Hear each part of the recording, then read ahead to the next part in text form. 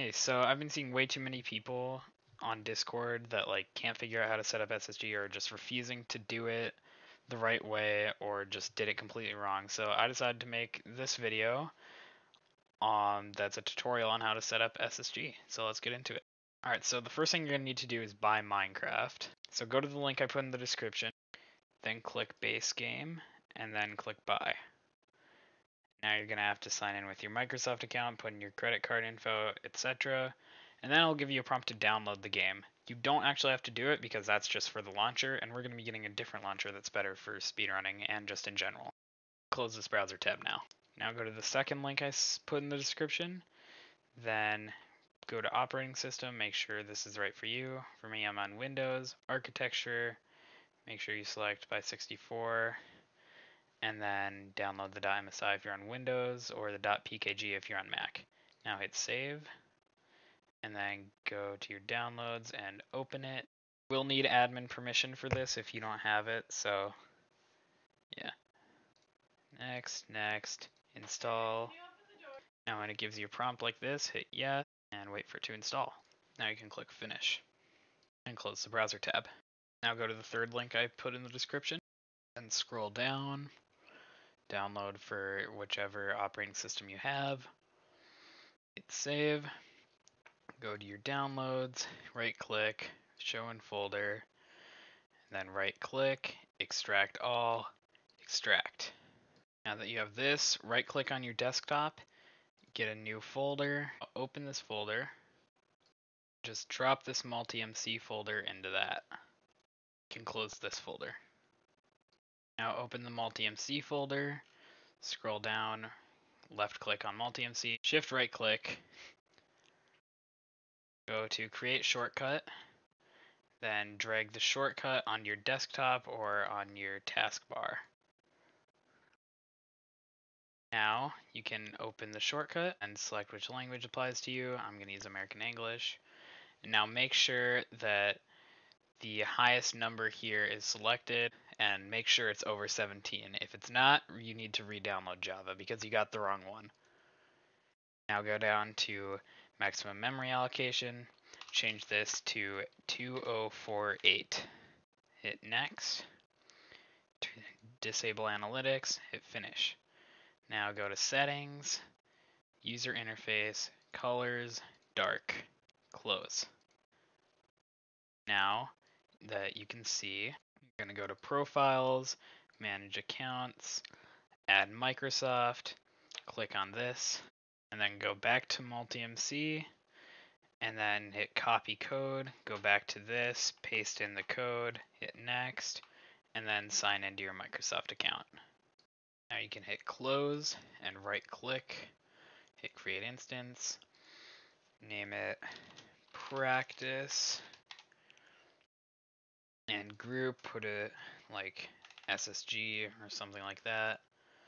And then scroll down to find 1.16.5 and hit OK.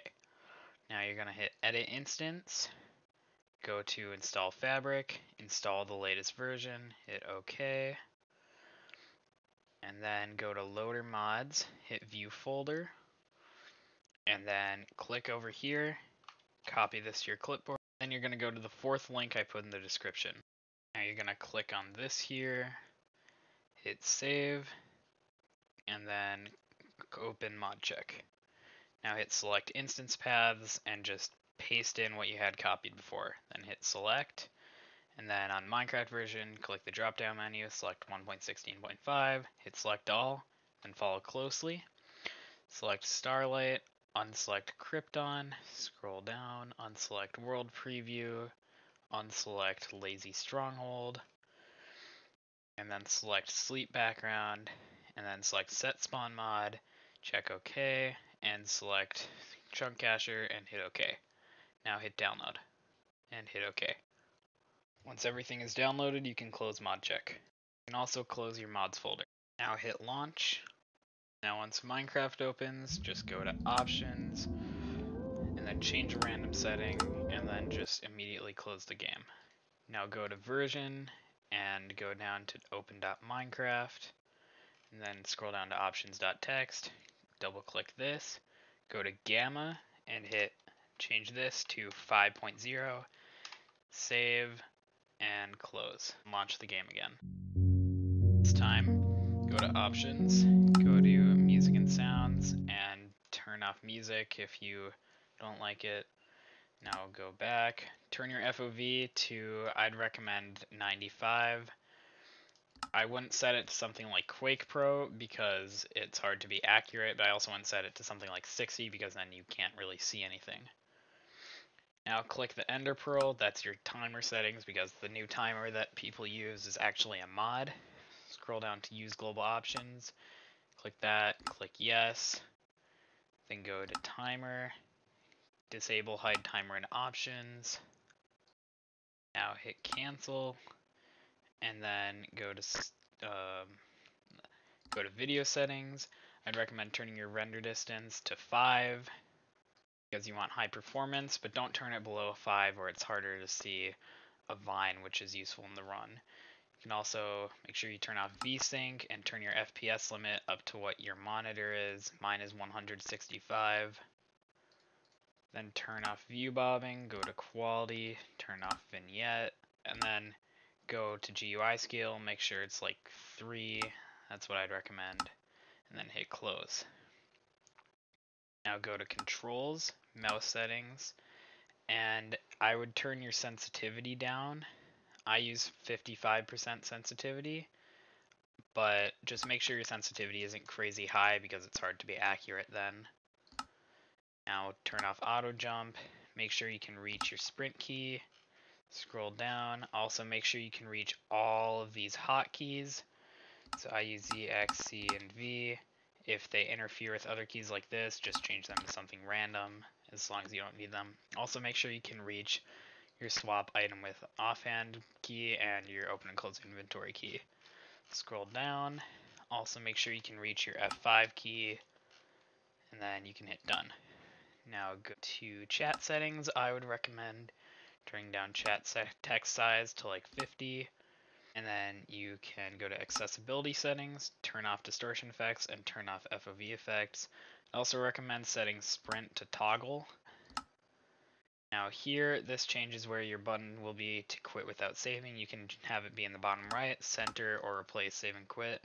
This is really up to preference for me. I prefer it in the center. Now shift click on this golden boots button and then paste in the seed that I put in the description. This is the seed we'll be running. Now you can hit done, you can hit quit game. Now go to loader mod, then go to view configs, open setspawn.json. If it gives you this, select notepad, hit always, and then you can just close it again. Now you can close this folder. Now go back to MultiMC right click, hit copy instance, name it instance 1, and then make sure you uncheck copy saves and keep playtime, then hit OK. Bring it down to the same folder. Go back to this console window, go to worlds, then go to the next two links I put in the description. They're both practice maps. Click on this to download, hit save, and then go to the other one, download, save, then go to your downloads folder, and then go to worlds, and then just drop both of those in. Now you can launch the instance, and go to single player, go to Vine SSG practice, then you'll spawn here, right click the sign.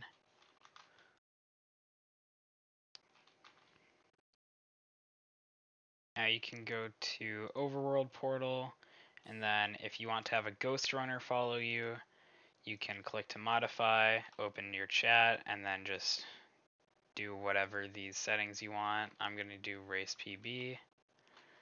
Now you can hit spawn, then go to full nether, you can do the same thing. And then make sure that reset with iron pickaxe is on. I'd recommend turning off reset with netherite. Then you can go back to spawn, go to full overworld, again, you can do the same thing with Ghost Runner, and then you can click turn off reset with diamond, and then go back to the spawn. Nether portal, I'd recommend turning off reset with netherite. And there's no ghost runner for this one for some reason. You can go back to spawn, hit save and quit to title. Don't do menu.quit world because then it won't save any of the things you just did. Now go to single player, end practice. I know what I'm doing. And then go to one cycle settings. And then you're going to set this to custom. And then you're going to make sure this is on any diagonal. And then you're going to want to go to click to edit your preset on preset 1 and then break these to obsidian place an armor stand here break that and click and then hit facing east. Now you can click to save now go to custom loadout, hit click to edit, and arrange it to look like this. Now right click the sign to save. Now you can save and quit to title, quit game, go to the next link in the description, and download it. Hit save, now go to loader mods, hit add, and then go to your downloads folder, select Ghost Runner, hit open, and then you can hit close. That's the mod that'll make the Ghost Runner work. Remember though that it isn't legal for real runs, so don't put it in your instance one folder.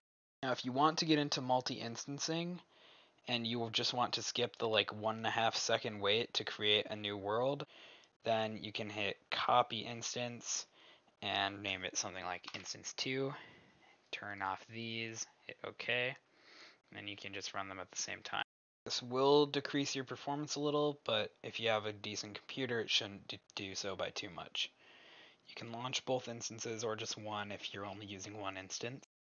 And then the method I'd recommend using to switch between these two instances is to just alt tab like this. There are some macros that'll let you do it a little faster and also add some extra features since you don't really need to use it. I'm not going to cover it here. One last thing, go to your search bar, search mouse settings and click on that. Now scroll down and go to additional mouse settings, go to pointers, double click on this, and then scroll down to the C section, select cross eye, hit open, then hit apply and hit OK. And now your cursor is a crosshair which will make chest looting and fast crafting a little easier and just more precise, but obviously this is entirely optional. If you want to start your runs, just click on the golden boots. On the first run you get when you press the golden boots, don't actually run on this. Press F3B to turn on hitboxes, and then open F5 which will increase your performance a little. And then there's a thing known as first world lag, which means your performance is just always a lot worse on the first world you open for some reason. But to solve this, we can just reset. You can reset by pressing menu.quit world here in settings or just pressing F6. And as you can see, your world loads are going to be a lot faster now. Now you're ready to start runs. Once you're ready to be done running, go to options, hit stop resets and quit, and you're back to the title screen.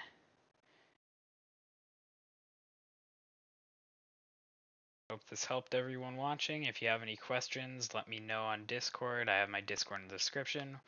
Or you can just ask in the public speedrunning or the public set seed speedrunning discords. The links are also going to be in the description. So good luck on runs and thanks for watching.